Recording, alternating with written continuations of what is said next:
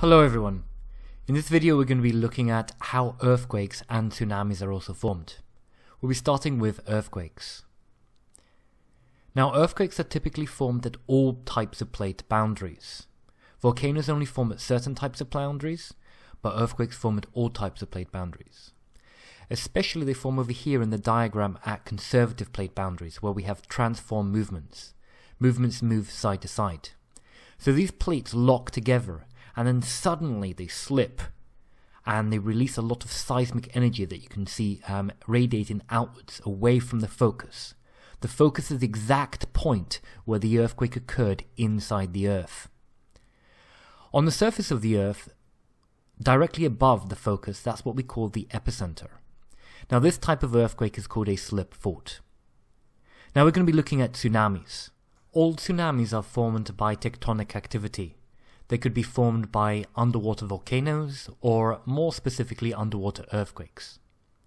And they form in stages. The first thing that has to occur is you have to have a normal earthquake. So as you can see in diagram 1, underneath the sea, the plates lock together, uh, there's a build-up of pressure between these two plates, and then suddenly they slip, exactly like with the earthquake, and they cause a slip fault and release seismic energy, or seismic waves.